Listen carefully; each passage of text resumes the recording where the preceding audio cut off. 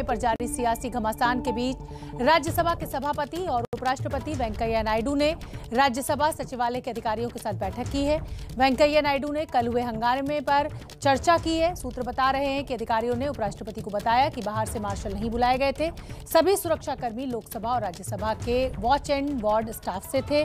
अधिकारियों ने नायडू को बताया है कि शुरू में केवल चौदह मार्शल तैनात किए गए थे, लेकिन ज़रूरत बढ़ने के साथ साथ ये संख्या बढ़कर बयालीस तक पहुँच गई थी, क्योंकि विपक्ष लगातार ये आरोप लगा रहा है कि वेल के अंदर मार्शल क्या कर रहे थे, हम कोई अपराधी हैं.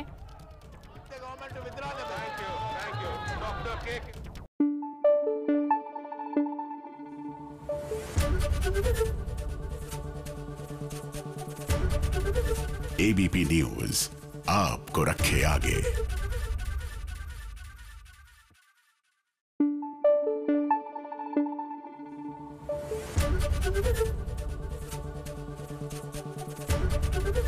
ABP news.